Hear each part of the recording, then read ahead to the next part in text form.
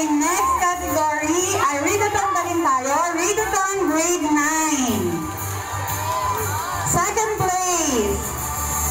Congratulations po, Mabini Integrated School.